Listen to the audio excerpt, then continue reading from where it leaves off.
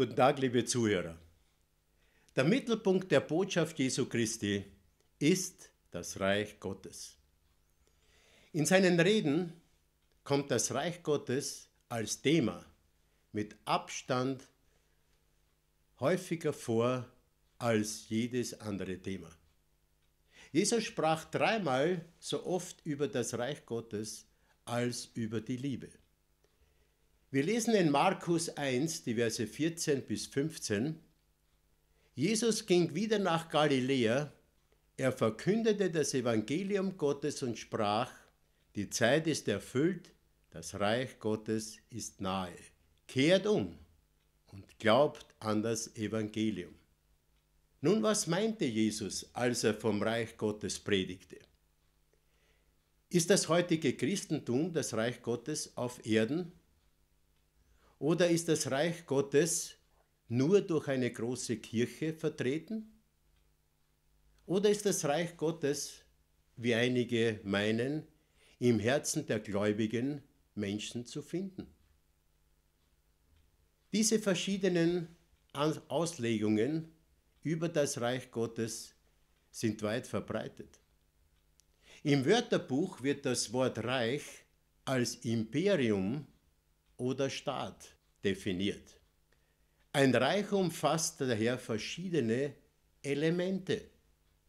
Erstens ein Staatsoberhaupt, zweitens ein Hoheitsgebiet, drittens Untertanen und viertens ein Rechtssystem. Nun schauen wir uns diese vier Punkte genauer an. Erstens, wer ist das Staatsoberhaupt des Reiches Gottes? Nun, Jesus Christus wurde geboren, um ein König zu sein. Und wir lesen das in Lukas 1, die Verse 30 bis 33. Und der Engel sprach zu ihr, Fürchte dich nicht, Maria, du hast Gnade bei Gott gefunden, siehe, du wirst schwanger werden und einen Sohn gebären, und du sollst ihm den Namen Jesus geben. Der wird groß sein und Sohn des Höchsten genannt werden. Und Gott der Herr wird ihm den Thron seines Vaters David geben.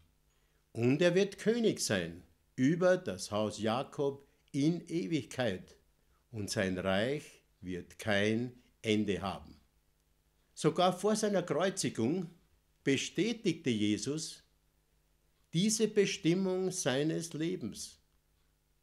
In Johannes 18 und in Vers 37 lesen wir, da fragte ihn Pilatus, so bist du dennoch ein König? Jesus antwortete, du sagst es, ich bin ein König. Etwa 60 Jahre nach dem Tod Jesu bestätigte der Apostel Johannes in der Offenbarung, dass Jesus als König aller Könige und Herr aller Herren ein zweites Mal kommen wird. Und das lesen wir in Offenbarung 19 und in Vers 16. Und trägt einen Namen geschrieben auf seinem Gewand und auf seiner Hüfte, König aller Könige und Herr aller Herren. Und das bringt uns zum zweiten Punkt. Wo wird Jesus regieren? Wo wird sein Hoheitsgebiet sein?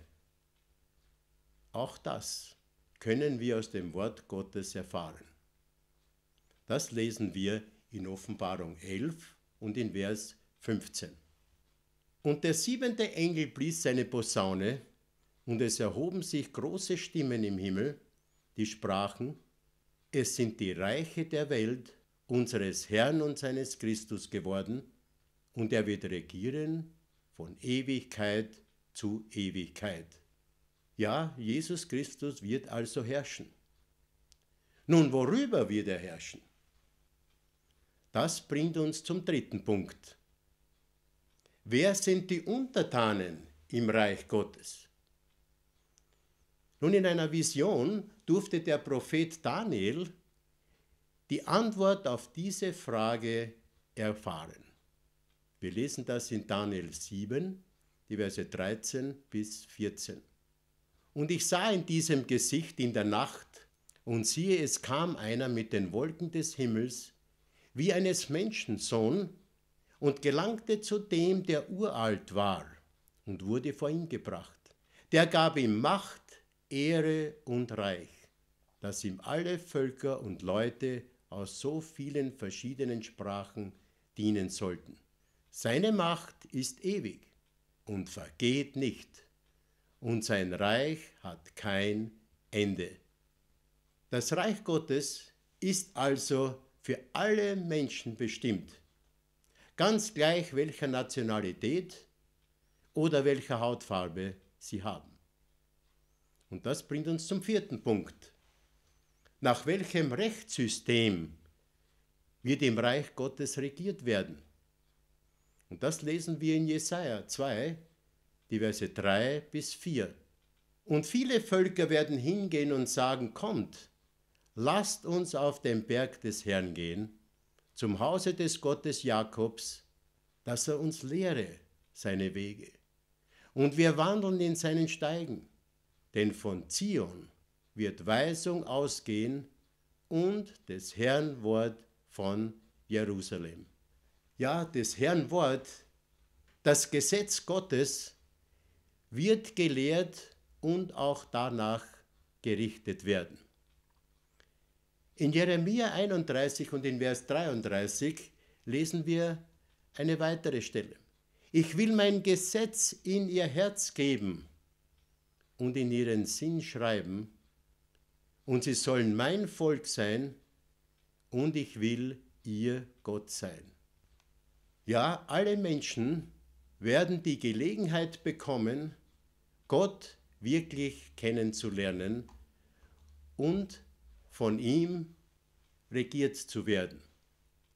Wenn Sie mehr über dieses Thema wissen wollen, über das Reich Gottes, dann bestellen Sie unsere kostenlose Broschüre Das Reich Gottes, eine gute Nachricht.